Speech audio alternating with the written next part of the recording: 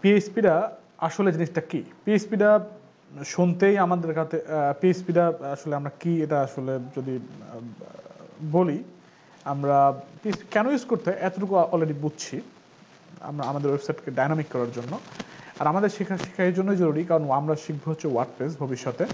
আর ওয়ার্ডপ্রেসের জন্য পিএইচপিটা শেখা জরুরি, কারণ ওয়ার্ডপ্রেসের জন্য পিএইচপিটা কারণ ওয়ার্ডপ্রেসটা পিএইচপি দিয়ে বানানো। একদম একদম সিম্পল হিসাব। এখন আমরা যদি পিএইচপি আমরা যদি লিখে এরকম বলে সার্চ দিই, তাহলে দেখা যাচ্ছে, দেখেন এটা পিএইচপি ডট নেট এখানে এরা সবচেয়ে বড় একটা ওয়েবসাইট মানে পিএইচপির ওয়েবসাইট এখান থেকে পিএইচপির সব কিছু এরা হচ্ছে এখানে গিয়ে শেখে লোকজন, যারা হচ্ছে প্রো লেভেলের হয়ে যায়। আপনি আপনি নিজেও শিখতে পারবেন। আবার এখান থেকেও শেখা যায় পিএসপি টিউটোরিয়াল দেখেন, আপনার ডাব্লু থ্রি স্কুল থেকে গিয়ে এখান থেকে শেখা যায়। তো এই যে দেখেন, এই জিনিসগুলো কিন্তু আমরা অলরেডি শিখছি অ্যারে অ্যারেটারে হাবি যাবি এই জিনিসগুলো কিন্তু আমরা জানি। তো যাই হোক, আমরা যদি পিএইচপি শিখতে যাই, আমাকে অবশ্য, অবশ্যই সার্ভার লাগবে। তো সার্ভারের জন্য একটা জিনিস আছে অ্যাপাসি নামে একটা জিনিস আছে। অ্যাপাসি নামে একটা জিনিস আছে, সেটা সার্ভারকে রান করার জন্য লাগে। আর হচ্ছে, আমাদের যে আমরা যে বললাম এর আগে ডাটাবেস ডাটাবেসের জন্য আমরা মাইস্কুয়েল ইউজ করব। এই জন্য মাইস্কুয়েল লাগবে। তো মাইস্কুয়েলটা এই জিনিসগুলা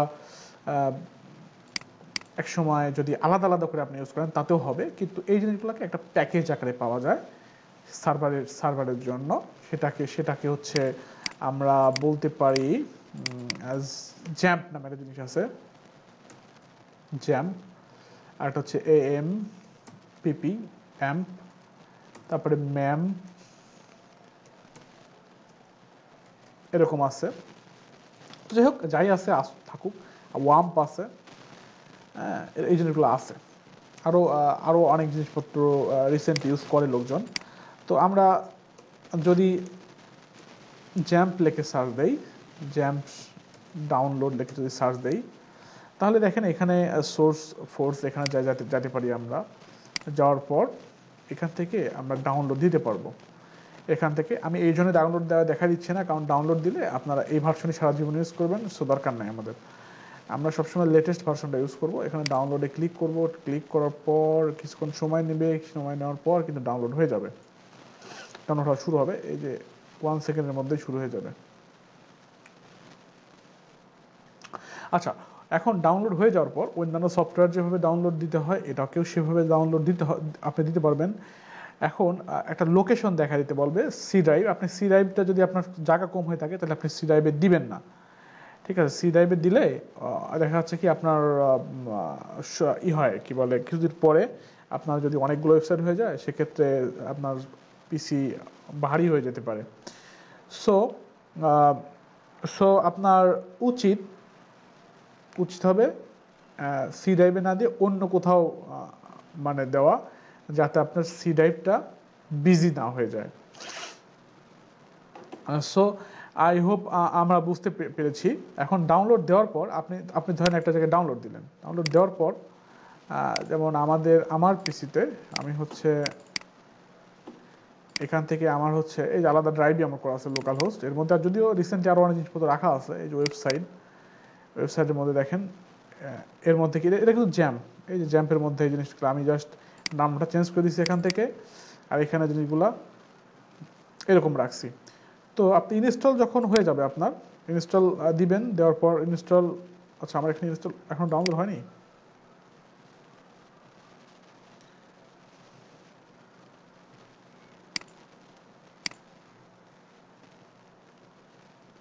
আচ্ছা এতক্ষণে ডাউনলোড হচ্ছে। তো আমি ডাউনলোড করব না জাস্ট দেখানোর জন্য, দেখার জন্য দেখলাম যে আসলে ডাউনলোড হয় কিনা। সো ডাউনলোড হবে এইভাবে ডাউনলোড হয়ে যাওয়ার পর আপনি ইনস্টল করবেন। করার পর আপনাকে একটা একটা লোকেশন দেখা দিতে বলবে। লোকেশনে লোকেশনে যাবেন। যাওয়ার পর জ্যাম্প আপনি সি ড্রাইভ ধরে সি ড্রাইভ বা যে, যেখানে হোক আপনার জ্যাম্প নামে ফোল্ডার থাকবে। তার মধ্যে যাবেন। যাওয়ার পর দেখতে পাবেন এইচটি ডক্স নামে একটা ফোল্ডার এসি ডক্স নামের ফোল্ডার এখানে অনেক ফোল্ডার আছে। আমার আমার আমার পিসিতে বাট আপনার পিসিতে এতগুলো জিনিস থাকবে না। আপনার পিসিতে পিসিতে জাস্ট আপনার কয়েকটা ফোল্ডার থাকবে এখানে, এই এইচটি ডক্সের মধ্যে। তো আপনি একটা কাজ করবেন জ্যাম্পের মধ্যেই যাবেন আমার আমার এটাকে রিনেম করে ওয়েবসাইট ওয়েবসাইট বানানো আছে, আপনি জ্যাম্পের মধ্যে যাবেন, যাওয়ার পর এই নিচের দিকে কন্ট্রোল প্যানেল আছে, এখানে ডাবল ক্লিক করবেন। ডাবল ক্লিক করলে বা আপনি এখান থেকে গিয়েও যদি জ্যাম্প লেখে সার্চ জ্যাম্প লেখেন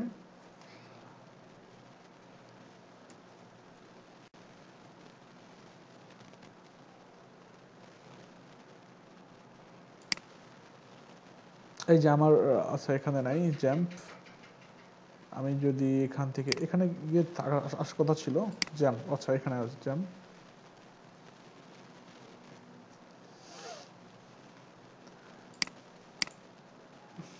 এটা সরাসরি লাইভ থেকে দেখাচ্ছে। যাই হোক, আমি জ্যাম্পে ক্লিক করছি। ক্লিক করার পর আমার কি হয়ে গেছে? আমার কিন্তু এখানে এটা ওপেন হয়ে গেছে। এটা নর্মালি এরকম থাকে। যদি কারোর এটা ইনস্টল করতে সমস্যা হয়, আমাকে বলবেন। আচ্ছা দেওয়ার পর এখান থেকে ডাবল ক্লিক করবেন এরকম করে ডাবল ক্লিক করলে এই জিনিসগুলো ওপেন হয়ে যাবে। অনেক সময় এই জিনিসগুলো, এই রান হয়ে যায় আর কি। রান হতে ঝামেলা করে। সেক্ষেত্রে অন্য কোনো ওয়ে ওয়ে দেখতে হবে। অন্য কোনো ওয়ে দেখে আপনার পিসিতে এটা করার ট্রাই করা লাগ- লাগবে আর কি। আর একটা সহজ উপায় আছে, এটা এটা তো আমি করলাম স্টার্ট আর আপনি যদি সব সময় এটাকে রান করে রাখতে চান, সেক্ষেত্রে আপনি এখানে কন্ট্রোল প্যানেলে যাবেন। যাওয়ার পর এখানে রান অ্যাজ অ্যাডমিনিস্ট্রেটরে যাবেন। যাওয়ার পর ইয়েস করবেন। করার পর এখান থেকে দেখেন, এরকম আছে। তো আপনি এখান থেকে রান করবেন, করার পর এখানে টিকটা উঠায় দিবেন। এখানে রান রানে ক্লিক করবেন।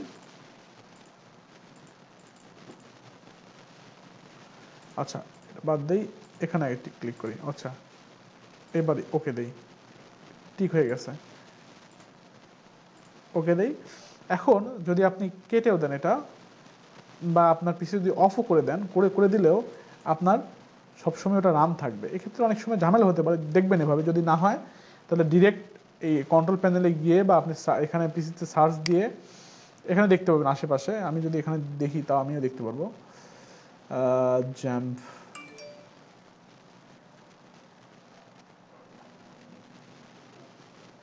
যাই হোক আমরা ওপেন যখন করব, এখন কিন্তু আমরা যখন জ্যাম্প ওপেন করব, এখন যদি আমি আমার এখানে পিসিতে গিয়ে লোকাল হোস্ট লিখি লোকাল হোস্ট লিখে যদি সার্চ দেই লোকাল হোস্ট ড্যাশবোর্ড তাহলে কিন্তু এরকম দেখতে পাচ্ছি। লোকাল হোস্ট লেখার পর এরকম চলে আসছে। আসার পর আমরা এখানে পিএসপি মাই অ্যাডমিনে যদি যাই, তাহলে আমাদের ডাটাবেস দেখাবে। ডাটাবেসের মধ্যে আমি এখনই যাচ্ছি না। বাট আমি কি করব? লোকাল হোস্ট স্ল্যাশ আমি আমাদের একটা একটা ধরেন না একটা ওয়েবসাইট বানাবো আমি আমার এর মধ্যে। আমি কি করব? আমাদের ওয়েবসাইটের মধ্যে যাওয়ার জন্য আমি জ্যাম্পে যাব বা এখানে ওয়েবসাইট আছে লেখা, আমি এখানে গেলাম। যাওয়ার পর আমি কি করব? এখান থেকে আমি এইচটি ডক্সের মধ্যে যাব। যাওয়ার পর আচ্ছা আবার আমার প্রশ্ন করতে বুঝতে পারেন এখানে কি? এটা হচ্ছে আমাদের, আমি অন্য একটা কম্পিউটার থেকে এটা নিয়ে আসছি তো। আমার ওল্ড ওয়েবসাইটগুলো কিছু আছে এর মধ্যে, এই জন্য এরকম দেখা যাচ্ছে। তো যাই হোক, আমি এর মধ্যে যাব, যাওয়ার পর এর মধ্যে একটা ফোল্ডার ক্রিয়েট করব। ধরেন আমি এর মধ্যে একটা ফোল্ডার ক্রিয়েট করলাম। নাম দিলাম, কি নাম দেওয়া যায়? যে web hyphen IT hyphen L বা ওয়েব আইটি এল টি এরকম রাখলাম ধরেন। আচ্ছা এখন আমি যদি এখানে localhost slash web IT LTD লিখি, এরকম দিই তাহলে কিন্তু চলে আসছে। এই যে এখানে যেটা দেখতে পাচ্ছেন, এটা হচ্ছে ডোমেইন এটা হচ্ছে আমাদের লোকাল সার্ভারের ডোমেইন আর এই যে যেখানে রাখলাম, এটা হচ্ছে আপনার হোস্ট করলাম, আমি হোস্টিং করলাম। আর এই টোটাল এই জ্যাম জিনিসটা, এটা হচ্ছে সার্ভার আচ্ছা ডাটাবেসটা এখনও দেখা নেই ডাটাবেসের জন্য আমরা এখান থেকে কী করব? Localhost slash PSP PSP my admin এখানে যদি যাই, এটাই হচ্ছে আমাদের এটি হচ্ছে আমাদের ডাটাবেস এর মধ্যে এই যে পিএসপি মাই অ্যাডমিন এটা হচ্ছে আপনার এসকিউএল মাই এসকিউএল ডাটাবেস এটা যদি আমরা হচ্ছে আমাদের জ্যামটাকে ওপেন না করতাম, ওখানে মাই এসকিউএলটাও কিন্তু ওপেন করছি, আমি যখন যদি দেখাই, আমি যদি এখানে দেখাই গিয়ে কন্ট্রোল প্যানেল এখানে যদি দেখাই, আমি কিন্তু অ্যাপাসি অ্যাপাসি আপনার পিএসপিটা রান করে আর হচ্ছে মাইস্কুল ডাটাবেসটা রান করে। আমি যদি এটা অফ অফ করে রাখতাম অফ করে যদি রাখতাম, তাহলে কিন্তু সমস্যা হতো না। এটা হবে না। এটা এটা বলছে যে তোমার হচ্ছে অ্যাডমিনিস্ট্রেটর অফ করতে হবে। তাছাড়া নর্মালি অফ হবে না।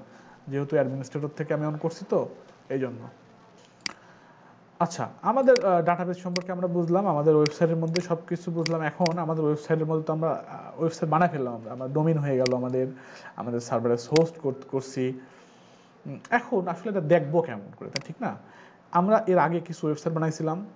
আমাদের ধরেন ওয়েবসাইটের মধ্যে কি কি ছিল ওয়েবসাইট যে করি প্লাগ ইন ছিল। প্লাগ ইনের মধ্যে ধরেন এইটা আমাদের ছিল হ্যাঁ? আমরা যদি এইগুলোকে যদি, ধরেন এটাকে কপি করলাম কপি করে নিয়ে এসে আমাদের, এই যে আমরা যে ওয়েবসাইট বানালাম এসি ডক্স এসি ডক্সের মধ্যে গিয়ে আমাদের ওয়েবসাইটের নাম কি ছিল? ওয়েব আইটি এলটিডি এর মধ্যে যাব, যাওয়ার পর এগুলো রেখে দিই। রেখে দেওয়ার পর আমরা যদি এখানে রিলোড দিই, তাহলে কেউ দেখতে পারব পান্ডাই কুমার চলে আসছে এর মধ্যে। টোটালটাই কি? একটা হয়ে গেছে মানে তাহলে পিএসপি আমাদের দরকার কি? হয়েই তো গেল। হ্যাঁ হয়ে যায় না এখন, আর আমরা পিএসপি এখনও শুরু করি নাই। আমাদের, দেখেন এখানে কি? ইন্ডেক্স ডট এইচটিএমএল লেখা আছে না? আপনি যদি পিএইচপি লিখতে চান, তাহলে এখানে অবশ্যই আপনাকে এইচটিএমএল ফাইলটাকে ডট পিএইচপি দিতে হবে। তাহলে এইচটিএমএল কি আমাদের আমাদের চলে যাবে? না যাবে না। এই পিএইচপি ফাইলের মধ্যেও এইচটিএমএল লেখা যায়। আপনি যদি এখানে গিয়ে আবারই লোড দেন, তা কিন্তু কোনোই চেঞ্জ হবে না। দেখেন, তা কোনো কোনো চেঞ্জ হচ্ছে না। সব কিছু আগের মতোই ঠিকঠাকই আছে। তার মানে আমরা বুঝতে পারলাম কয়েকটা জিনিস। আমরা এইচটিএমএল ফাইলের মধ্যেও পিএইচপি লিখতে পারি না। আমরা পিএইচপি ফাইলের মধ্যে এইচটিএমএল লিখতে পারি এবং পিএইচপিও লিখতে পারি।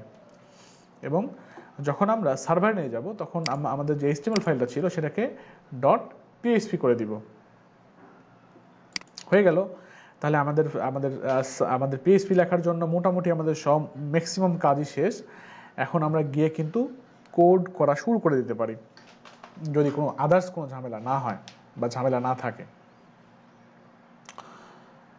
এই হচ্ছে ব্যাপার। তাহলে আমরা বুঝতে পারলাম যে কীভাবে পিএইচপি লেখা যাবে বা আমাদের যে সার্ভারের জন্য আমাদের জ্যাম্প বা আমরা যাই ইউজ করি, আমরা জ্যাম্প ইউজ করব। জ্যাম্পই আমি রিকমেন্ড করব।